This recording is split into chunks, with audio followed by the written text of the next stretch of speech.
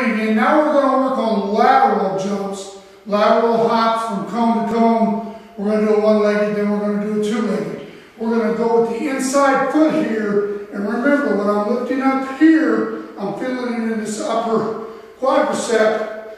On the other leg, the jump leg, I'm feeling it in this hip and the glute. So I'm just going to go like this. I'm working on balance, just like that.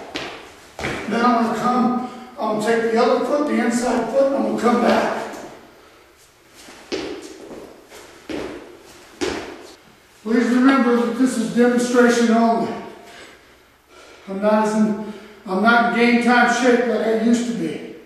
And if you have to, move the cones in a little bit closer. Now we're going to do the same thing, and we're going to explode with both feet.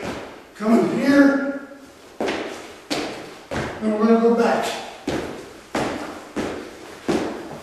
Really lifting those quadriceps and driving off the feet.